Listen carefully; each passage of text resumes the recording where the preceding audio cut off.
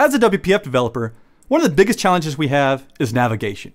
And unless you're using something like Prism, navigation can probably be the most complicated feature of a WPF application. But what about the web? What do we do in Angular?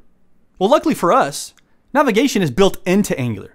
Angular makes it really easy to implement navigation. How easy? Well, let's find out. Roll the intro.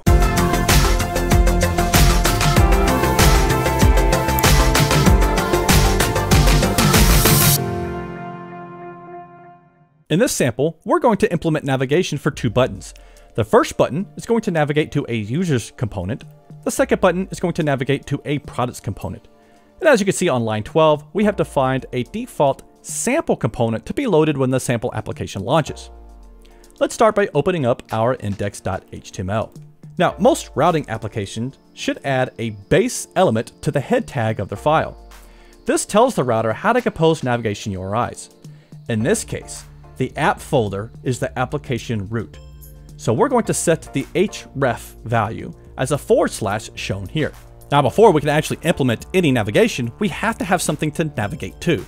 So let's go ahead and start by adding our users and products components. We're going to open up the terminal and type ng, g for generate, c for component, users, and then we're going to type ng, g for generate, c for component, products.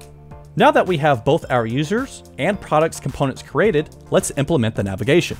The first step is we need to open up our app.module.ts file. Here, we're going to start by adding an import for the router module. And this can be found in Angular slash router. Next, we want to come into the imports array of the ng module decorator. Here, we're going to define the router module dot for root and within the parentheses of for root, we're going to define an array of routes. Now, creating a route is pretty straightforward. We're going to start by creating a new path. And this path is going to provide a URL identifier, if you will, of where we're going to navigate when this is entered into the URL. What I mean by that is, for example, let's say whenever we type products into the URL, we're going to navigate to the component products component. And whenever we type users, we're going to navigate to the component, the users component. Now that we have our routes defined, the next step is we have to define what's called the router outlet. So to do this, I'm going to open up my app.component.html. And here on line 12, where we have our sample component, I'm going to uh, delete that and we're going to define our router outlet. The router outlet is a directive from the router library that is used like a component.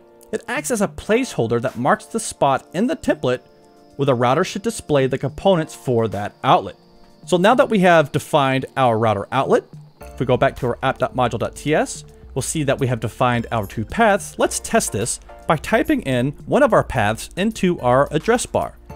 Let's start with the products. So we'll say localhost 4200 slash products. When we do this, we will see that our component is now navigated into the router outlet. In this case, product works.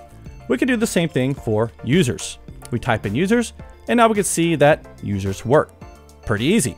Well, that works and that's fine and dandy, but we don't expect our end users to type in manually the path that they want to navigate to, correct? Now what we're going to do is when a user clicks the button, we're going to navigate to the specific component. To do that, we're going to use what's called the router link directive. In this case, we're going to specify that when this button is clicked, we're going to navigate to the slash users path. And we will do the same thing for our products, slash products. We'll save our application, and now we will click the buttons, we navigate to user, users work, navigate to products, products worked, and our back history works as expected as well. It's that simple. Now that we know just how easy it is to implement navigation in an Angular application, it's time. That's right, it's time to announce the winner for the one year subscription to Infragistics Ultimate. And the winner is.